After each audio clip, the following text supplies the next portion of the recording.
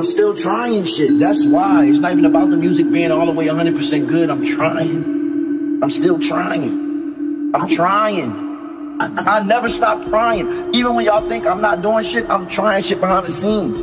Until it sounds good enough for me to present it to y'all. I'm trying. I've been trying the whole time. I've never not been trying. I tell you, it don't like a, a scientist don't go overnight like high, like on the movies. It took Robert Williams to make Flubber the whole damn movie. It took him the whole movie to make it right. You know, a movie two hours, but a movie is really like a, a, a year in a two in two hours. It took him the whole movie to make Flubber to be right.